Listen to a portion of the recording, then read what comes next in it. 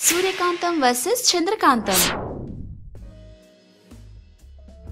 ఒకరోజు చంద్రకాంతం చేపలు కొనటానికి ఫిష్ మార్కెట్కి వెళ్తుంది. ఏం బాబు చేపలు ఎంత? పెద్ద చేప వచ్చి నాలుగు వందలమ్మా చిన్న చేప వచ్చేసి నూట యాభై అమ్మా ఏందయ్యా? ఎందుకు అంత పిరం చెప్తాను ఏం డిస్కౌంట్ లేదా ఏంది? ఏందమ్మా? ఎక్కడికొచ్చి ఏమడుగుతుండ్రు? ఇక్కడ డిస్కౌంట్ ఆఫర్లు ఏముండవు. Fixed rate. ఏంది వీడు? ఇంతగనం రేట్ చెప్తాండు? ఇప్పుడు ఏం చేద్దాం? అని ఆలోచిస్తూ ఉంది. అప్పుడు తనకి ఒక ఐడియా వస్తుంది. వెంటనే ఆ చేపలు అమ్మేవాడితో బాబు నాకు ఆ చిన్న చేప ఇయ్యవా? గీ చిన్న చేపనా? గీ తీసుకొని ఏం చేస్తారమ్మా? ఇదేం సరిపోతది? కూర వండుకోవడానికి దాన్ని పెంచుకోవడానికి. అది విని ఆ చేపలు అమ్ముకునేవాడు షాక్ అవుతాడు. చేపల్ని వలేసి పట్టుకునేటోళ్ళని చూసినా గాని పెంచుకునేటోళ్ళు కూడా ఉంటారా? సర్లే గట్లనే గాని. అని చెప్పి ఆ చిన్న చేపను ఒక పాలిథీన్ కవర్లో నీళ్ళు పోసి అందులో పెట్టి ఇస్తాడు. చంద్రకాంతం ఆ పాలిథీన్ కవర్ తీసుకొని తనలో తాను మురిసిపోతూ ఇలా అనుకుంటుంది. అమ్మా పెద్ద చేపలకి అంతగనం రేటా? ఇప్పుడు ఈ చిన్న చేపని మా ఇంట్లోనే పెంచి ఇది పెద్దయ్యాక కూర చేసుకొని తింటా. వాశ్చందు వాస్ చందు నువ్వు తోపే అని తనని తాను మెచ్చుకుంటూ మురిసిపోయింది. ఆ చిన్న చేపని అనుకున్నట్టుగానే తన ఇంటి వెనకాల ఒక గుంత తవ్వి అందులో నీళ్ళు వేసి ఆ చిన్న చేపని అందులో వేస్తుంది. అలా దానికి రోజు ఆహారం పెడుతూ ఉంది. కొన్ని రోజులు గడిచాయి. అయినా ఆ చేప పెద్దగా పెరగలేదు. అది చూసి చంద్రకాంతం మనసులో ఏందిది ఇన్ని రోజులైతాంది ఒక్క ఇంచు కూడా పెరగలేదు? దీనికి రోజు టైంకి ఫుడ్ కూడా ఇస్తానా? అయినా ఇంకా పెరగలేదు? ఇప్పుడు ఏం చేయాలి? అని బాధపడుతూ ఆలోచనలో పడుతుంది. అప్పుడు తనకి ఒక ఐడియా వస్తుంది. తన మనసులో ఒకసారి మా అత్తమ్మను అడుగుదాం. తన దగ్గర మ్యాజిక్ వస్తువులు చాలా ఉంటాయి కదా. ఏదో ఒకటి గీ చేప పెరగడానికి హెల్ప్ చేస్తుందో ఏమో అని. అని మనసులో అనుకొని వెంటనే సూర్యకాంతం దగ్గరికి వెళ్తుంది. సూర్యకాంతం మంచం పైన పడుకొని ఉంటుంది. మెల్లిగా మంచం పైన కూర్చొని సూర్యకాంతం కాళ్ళు ఒత్తుతూ ఉంది. అది గమనించిన సూర్యకాంతం ఏందే పొద్దు పొద్దుగాల కాళ్ళు పట్టినావు? ఏంది సంగతి? ఈసారి ఏం స్కెచ్ చేసినావు? అది అదత్తమ్మా మొన్న చేపల మార్కెట్కి వెళ్ళిన కథ. అక్కడేమో పెద్ద చేపల్ని మస్తు పిరం చెప్తుండు. అందుకు నేను చవకలో వస్తుందని ఒక చిన్న చేప కొని తెచ్చాను. దాన్ని పెంచి పెద్దయ్యాక కూర వండుకొని తిందామనుకున్నా. కానీ అది ఇంకా పెద్దగా పెరగనే లేదు. మీరే నాకు హెల్ప్ చేయాలత్తమ్మా. అందుకేనా గప్పటి నుంచి నన్ను కాకాబడతాన్నావు అయినా గది బెరక్కపోతే నన్నేం చేయమంటవే? గాలి కొట్టే పంపు దాని నోట్లో పెట్టి దాన్ని పెద్దగా చేయాలంటవా ఏంది? అట్లా కాదత్తమ్మా. మీ కాడ ఏదో ఒకటి మ్యాజిక్ వస్తువు ఉంటది కదా. దాని ద్వారా ఆ చేపను పెద్దగా చేయండి అత్తమ్మా ప్లీజ్ అత్తమ్మా.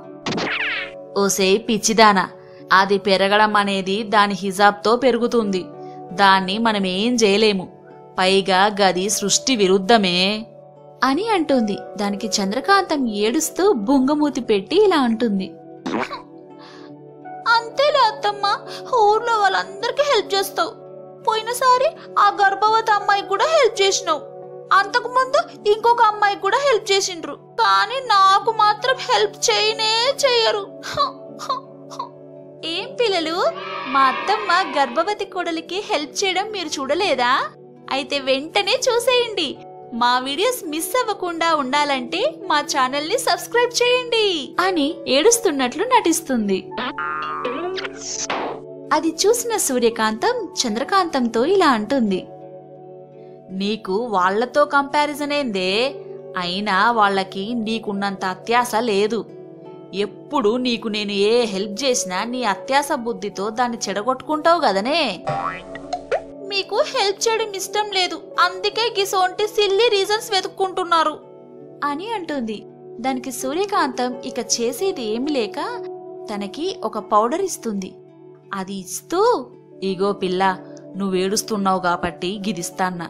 గీ పౌడర్ని అది తినే ఫుడ్డులో కలుపు. గది తొందరగా పెరుగుతది. అని అంటుంది. అది తీసుకొని చంద్రకాంతం ఆ చేపల ఫుడ్లో కలిపి రోజు చేపకి తినిపించేది. అలా ఆ చేప కొంచెం కొంచెంగా పెరుగుతూ వచ్చింది. అది చూసిన చంద్రకాంతం ఎంతో సంతోషపడింది.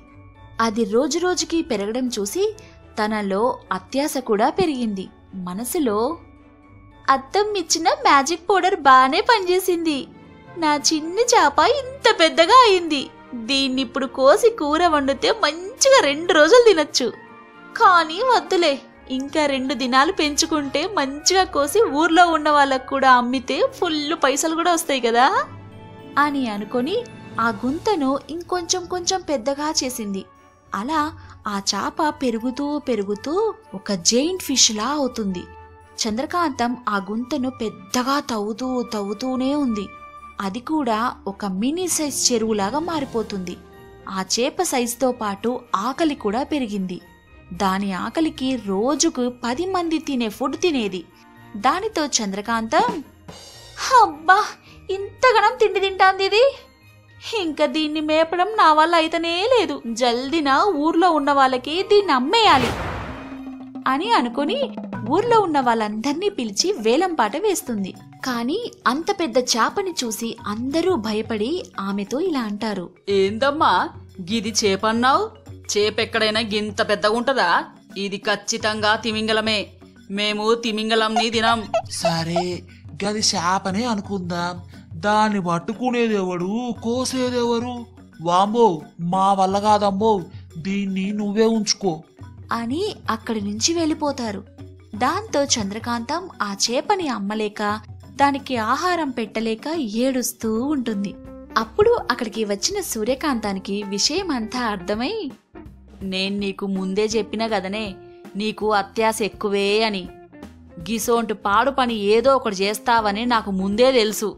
ఇంకా ఏడ్చేం లాభం? ఇంకా దానికి రోజు సేవలు చేస్తూ ఉండు. ఏం మాట్లాడుతున్నారు అత్తమ్మా? అది ఒక రోజుకి పది మంది తినే ఆహారం తింటాంది. దాన్ని మేపడం నా వల్ల కాదత్తమ్మా. మీరే ఏదో ఒకటి చేయండి. ప్లీజ్ అత్తమ్మా. అని బ్రతిమాలుతుంది. ఇక చేసేది ఏం లేక సూర్యకాంతం తన మ్యాజిక్తో ఆ చేపను ఆకాశంలోకి లేపి దాన్ని ఊరి చివర ఉన్న నదిలోకి వదిలేస్తుంది. అది చూసి చంద్రకాంతం మంచిగా ఫిష్ కర్రీ వండుకొని తిందామనుకున్నా. అది బాయే ఇది బాయే.